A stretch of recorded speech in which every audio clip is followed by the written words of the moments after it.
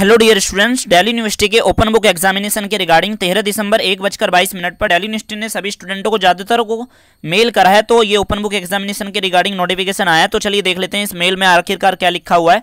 तो जैसे ही हम इस मेल पे क्लिक करते हैं तो हमारे सामने ये खुल के आता है ईमेल सबमिशन इंपॉर्टेंट पॉइंट ठीक है? आप अपनी आंसर स्क्रिप्ट को यदि ईमेल पर अपलोड करोगे जिस कंडीशन में तो उस दौरान आपको कौन कौन से पॉइंट ध्यान रखने तो वो यहाँ पर इन्होंने बताया है।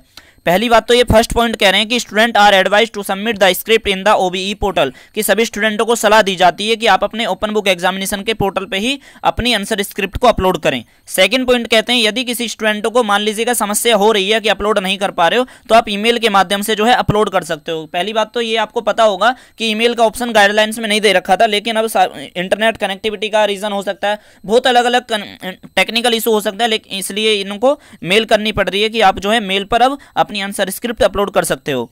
ठीक है, और वो कौन सी मेल है, कहाँ पर मिलेगी, मैं आपको सारी जानकारी देने वाला हूँ। तो यहाँ पर दे रखा है तो ये समझ में आ गया सेकंड पॉइंट कि in case any problem student can be submit by email to the nodal officer of the respective college ठीक है, आपके कॉलेज का जो भी नोडल ऑफिसर है, वो नोडल ऑफिसर के आपको अगर ईमेल आईडी नहीं पता है तो उस वीडियो का लिंक आपको इस वीडियो के डिस्क्रिप्शन में मिल जाएगा। आप उस वीडियो को देख लीजिएगा, वहाँ पे हमने सभी कॉलेज की जो है ईमेल आईडी बता रखी है, जो ओपन बुक एग्जामिनेशन के नोडल ऑफिसर हैं आपके कॉलेज के।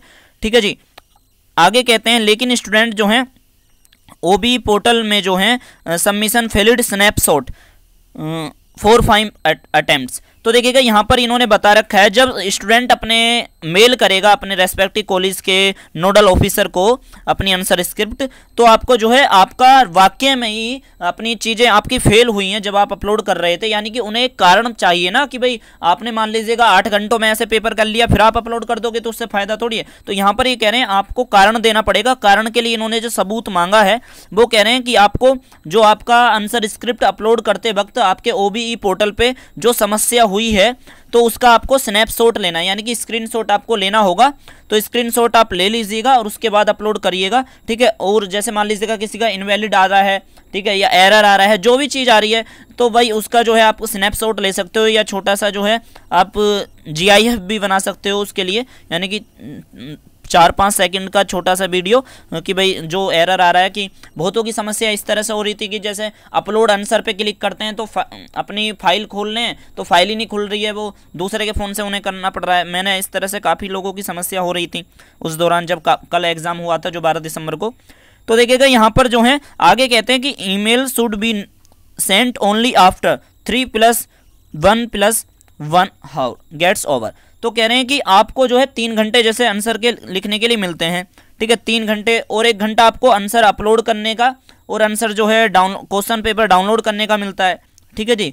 एंड एक घंटा कह रहे हैं वो आपको एक्स्ट्रा दिया जाता है। एक घंटा अगर मान लीजिएगा उस टाइम में भी नहीं कर पाए तो भाई एक घंटा एक्स्ट्रा जो आपको दिया गया है, अपलोड और डाउनलोड के अलावा एक घंटा एक्स्ट्रा, साठ मिनट एक्स्ट्रा दी गई है। ना टोटल आपको चार, आपको कितने घंटे मिलते हैं? तीन प्लस एक प्लस एक। अब यहाँ पर देखोगे टोटल आपको पाँच घंटे आपको मिल रहे हैं। तो आपको पाँच घंटे में अपना जो है आंसर लिख सकते हो। यदि इसके बाद भी आप नहीं अपना अपलोड कर पाए तो उसका जो है आपको स्नैपशॉट भेजना होगा। इनका कहने का सीधा सीधा मतलब है कि आपका टेक्निकल इशू होना चाहिए, क्योंकि स्नैपशॉट का मतलब क्या है कि भाई स्क्रीनशॉट दोगे तो टेक्निकल इशू होगा, ठीक है? अगर आपके पास दूसरा कोई कारण है तो भाई कह नहीं सकते। तो यहाँ पर जो है जब आप स्नैपशॉट भेजोगे तो भाई उसमें ध्यान रखना कुछ आपका होना चाहिए, कि जैसे इनवैलिड लिखा आ रहा है या वगैरह वगैरह बहुत सारी चीज़ें हो सकती हैं, ठीक है? तो कह रहे हैं कि आप जो है अपने पाँच घंटे पूरे करने के बाद ही ईमेल भेज सकते हो, ठीक है? उससे पहले आप नहीं भेजोगे, उससे पहले आप अपना उसी पे ट्राई करते रहिएगा ठीक है ओपन बुक एग्जामिनेशन के पोर्टल पे।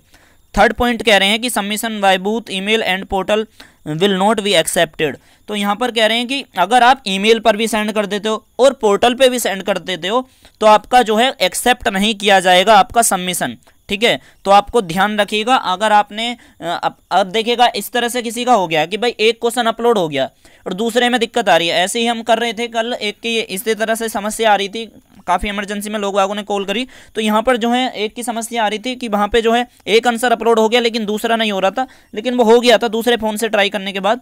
तो यहाँ पर जो है कह रहे हैं कि अगर देखिएगा इस कंडीशन में ऐसा होता है कि अगर आपका एक आंसर अपलोड हो गया और दूसरा तीसरा चौथा रह गया ठीक है चार क्वेश्चन जैसे करने हैं तो तीन क्वेश्चन के आंसर आप दे दीजिएगा ईमेल पर ठीक है क्योंकि आपका हो नहीं रहा है। आप, आप आप ऐसे कर सकते हो।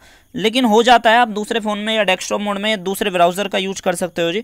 ठीक है तो यहाँ पर जो है, मैं यही कहूँगा कि आप दूसरे फ़ोन का यूज़ करोगे तो अच्छी तरह से हो जाएगा, क्योंकि इसी तरह से कल की एक घटना हुई थी। तो यहाँ पर जो है, चौथा पॉइंट कह रहे हैं कि result of email submitted student जिन स्टूडेंटों जो स्टूडेंट अपनी आंसर स्क्रिप्ट को ईमेल पर सबमिट करेंगे तो उन स्टूडेंटों का रिज़ल्ट जो है विलंबित हो सकता है, यानी कि देरी आ सकती है डिले हो सकता है आपका रिज़ल्ट क्योंकि वेरिफिकेशन प्रोसेस के कारण।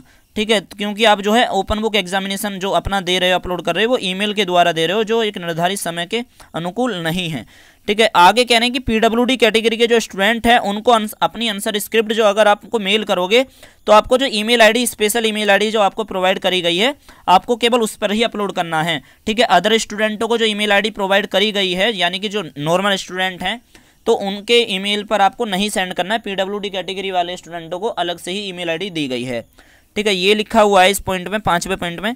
अब हम आगे पढ़ें, जो छठा पॉइंट है, कह रहे हैं कि पीजी स्टूडेंटों के रिगार्डिंग कह रहे हैं, यदि पीजी स्टूडेंटों को कुछ भी दिक्कत हो रही है इस क्लैरिफिकेशन के रिगार्डिंग तो आप अपने जो है एचओडी से कांटेक्ट करिएगा, ठीक है जी? जो भी आपका डिपार्टमेंट ऑफ़ हेड कहते हैं इसे तो हेड ऑफ़ डिपार्टमेंट जो भी है, आप उनसे कांटेक्ट करिएगा। यदि आपके पास उनका कांटेक्ट नंबर है, नहीं है तो आपका लिंक जो है वीडियो के डिस्क्रिप्शन में मिल जाएगा। वहाँ से डाउनलोड कर लेना वीडियो को देख के।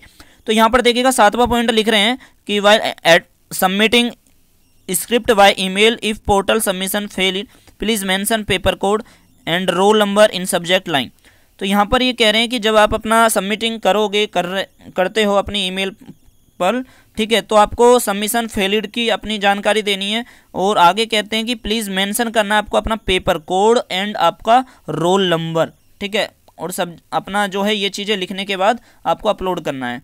ठीक है जी? तो इसमें जो इसमें जो इम्पोर्टेंट पॉइंट लगा, वो हमें यही लगा कि आप जब अपनी आंसर स्क्रिप्ट अपलोड करोगे मेल के थ्रू तो भाई आपको वहाँ पे स्नैपशॉट देना है, ठीक है? और आपको केवल, जो आपको पाँच घंटे दिए जा रहे हैं, तीन प्लस एक प्लस एक, उसके बाद ही आप अपलोड कर सकते हो। और दो जगह आपकी अगर चली गई है मेल तो आपको एक्सेप्ट नहीं करी जाएगी, ठीक है? और आप, जो ईमेल करेगा स्टूडेंट तो उनके रिज़ल्ट में देरी हो सकती है, ठीक है? तो यही था अपडेट डेली यूनिवर्सिटी के रिगार्डिंग जो सभी स्टूडेंटों को मेल आया था तो मैंने आपको बता दिया। Thank you so much